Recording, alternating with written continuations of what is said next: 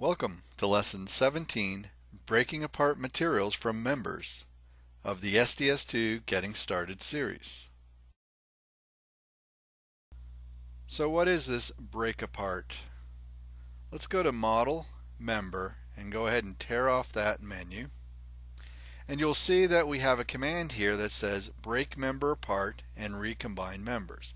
What the break member part does, it allows you to tear off material from a member and make it into its own member with its own shipping mark.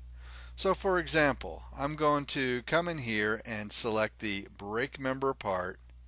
I'm going to select this bent plate. Let's go ahead and grab those other pieces of material. Now notice I'm not going to grab the studs in this particular case. Go ahead, select OK. And now when we look at this member here, we'll see that it is now its own member, M underscore 50. Let's go to plan view. You'll also notice up here, M underscore 50. So now we have one member, and now we have this other member. Now again, notice I did not tear off the studs. They are attached still to this particular member.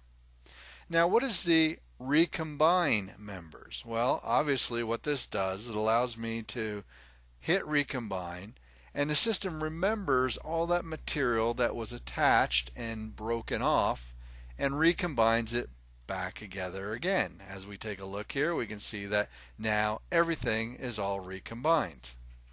This is the break apart and recombine command. This is especially useful if you want to come in here and break this pour stop off so that it can actually be shipped loose with its own shipping mark, just as an example. This concludes break apart recombine.